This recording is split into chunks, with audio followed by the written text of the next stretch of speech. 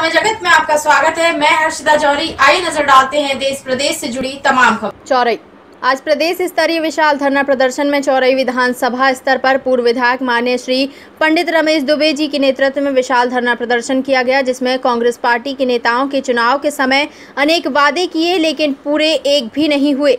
यह सरकार नहीं, झूठ का पुलिंदा है और प्रदेश की जनता यह समझ गई है। यह कुंभकर्णी नींद सो रही है, सरकार जागे तथा किसानों की सुध ले। प्रदेश में इतनी भीषण बाढ़ आई, लेकिन ना तो मुख्यमंत्री बाहर निकले और ना ही कोई मंत्री। राहुल गांधी और मध्य प्रदेश कांग्रेस सरकार ने मध्य प्रदेश के किसानों के साथ विश्वासघात किया है। पीठ में छुरा घोंपा है। अतिवृष्टि से बर्बाद फ़सलों के मुआवजे और कर्ज माफ़ी को लेकर भाजपा प्रदेश भर में धरना प्रदर्शन और आंदोलन कर रही है। भाजपा किसान भाइयों के हक की लड़ाई के लिए किसानों की मांगों का ज्ञापन एसडीएम महोदय को राज्यपाल के नाम सौंपकर शीघ्र राहत और मुआवजे की मांग की है।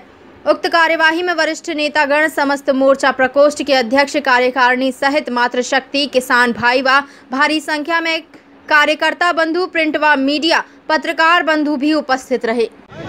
आज संपूर्ण मध्य प्रदेश में ये 230 विधानसभा क्षेत्रों में भारतीय जनता पार्टी ने जो किसान गाँव और आपके मजदूरों के लिए पिछले विधानसभा के चुनाव में कांग्रेस ने वचन पत्र के माध्यम से जो वादा किया था और नौ माह के शासनकाल में जो वादा खिलाफी उन्होंने की है, आज वास्तविक रूप से जनजागरण के दृष्टिकोण से भारतीय जनता भारतीय जनता पार्टी संपूर्ण मध्य प्रदेश में कांग्रेस को अपना वचन याद दिलाने का वो काम कर रहे हैं। क्योंकि मध्य प्रदेश का आपका किसान, मजदूर, गाँव के लोग अपने आप को ठगा सा महसूस कर रहे हैं। ऐसी भारतीय जनता पार्टी के मध्य प्रदेश में प्रतिपक्ष भूमिका होने के कारण हम अपने उत्तरदायित्व का निर्वाह करना चाहते हैं। मध्य प्रदेश के बावन में बत्तीस ज़िले लगभग बाढ़ की चपेट में आ चुके हैं। गाँव का, किसानों का फ़सल के साथ घर की घर की काफ़ी नुकसानी हुई है। लेकिन यह कांग्रेस की कुंभकर्णी निद्रा में सोने वाली यह सरकार,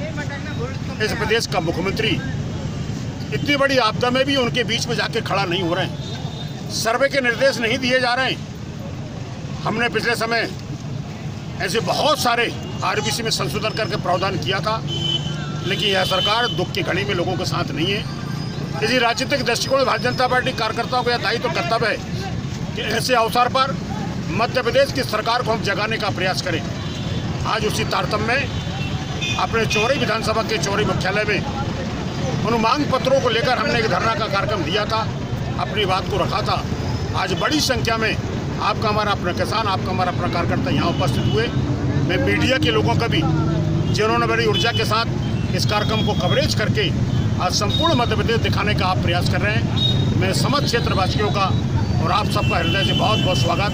अभिवादन के साथ अपनी बात को विराम देता हूँ। बहुत बहुत धन्यवाद। खबर समय जगत के लिए छिंदवाड़ा से ब्यूरो चीफ अजीत कुमार पांडे के साथ चौरई संवाददाता अंकित वर्मा की रिपोर्ट। पर समय जगत एक संदेश पूरा देश एक आगाज़ सच दिखाने का। हम हैं आपकी आवाज़।